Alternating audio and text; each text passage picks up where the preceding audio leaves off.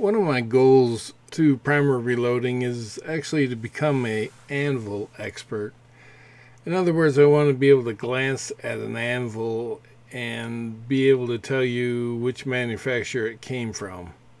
It's kind of a lofty goal, but I think it can do nothing more than help. To assist myself in identifying them, I found it useful for me to actually draw them in 3D space I'm using a program called Blender to do so, but in doing so, I don't just glance at a photo, I study them. To the members of the MeWe and other groups, I need your help. If you have some anvils lying around, if you could take a photograph or several photographs of them and submit them to the MeWe group files area or send them to my email, help me now mark at gmail.com. I'm kind of picky at the angles that you submit those photos or take the photos at.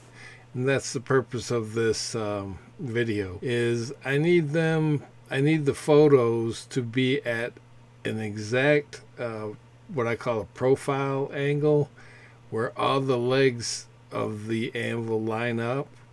Uh, that's a little bit uh, misaligned. It needs to be exactly uh, 90 degrees here. And then one from the top. That will help. And one from the bottom. And that's an important one too, of course. And then some at an oblique angle or maybe some more at where it's looking directly up a leg and then another one where it's looking right through this what I call the hole. Uh, that would help. And then some other oblique angles like this. Another thing that would help is that it's uh, zoomed in as close as possible and that the photo is uh, in focus of course. And but not zoomed in so much that you start getting this fisheye look it needs to be at a comfortable distance. That would help a lot. If you photograph it against, let's say, a white background, like a piece of paper or index card, what have you. Another is to identify the photo on the piece of paper in the background, like, see if I can show you.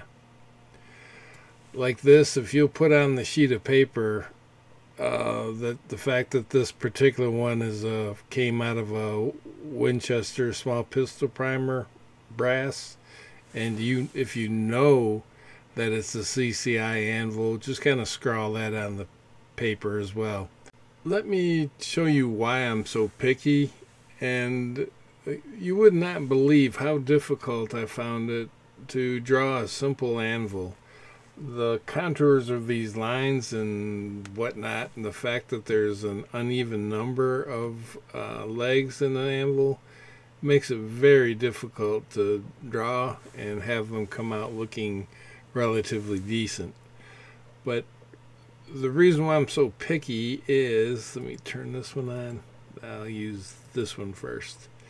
Is I don't really draw them, I cheat and I trace them and the photos that you take uh, for me I will put them inside the program called Blender. And you can see that if I trace those lines at 90 degrees you can kind of see why or how I or why I need those photos to be exactly at 90 degrees and then I can spin this around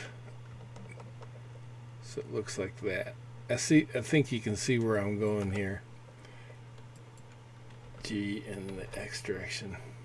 I gotta talk to myself for this all to come out right. But that's why I'm so picky at the uh, the camera angles is that I've got to trace these lines to match the profile. And then what was that other photo? That one was showing the top view. And you can see rotate on the z-axis Anyway, I think you can see why I'm so picky at the exact angles. I want to be able to trace those lines, not actually draw them. Thanks, guys. This is Mark on aardvarkreloading.com. If you have the financial means, donations on Patreon would be appreciated, but not required. Details below. And if you have technical questions, please join me at the MeWe group called Primer Reloading. Hope to see you there.